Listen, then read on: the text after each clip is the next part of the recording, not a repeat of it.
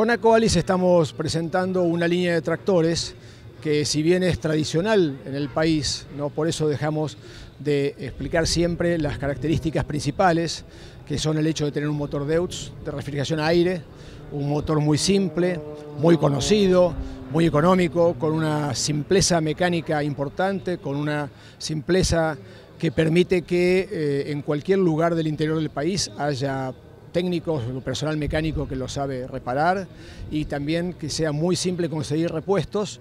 Eh, la trayectoria obviamente del motor es, es, muy larga, como lo es la trayectoria de la marca Deutz.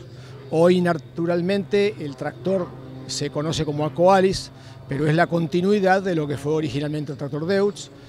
Eh, tiene una importancia muy, muy, muy, muy severa para nosotros porque se trata de un producto fabricado en el país. Estamos hablando de que el 75% de las componentes de este tractor están hechos en Argentina. Esto significa que el motor, la transmisión, los rodados, sistemas hidráulicos, todo en Argentina. Eh, próximamente tenemos, una fábrica, una ensambladora propia y ahí el tractor, eh, como es nuestra intención, va a estar llegando al 100%, en dos años, al 100% de industria argentina.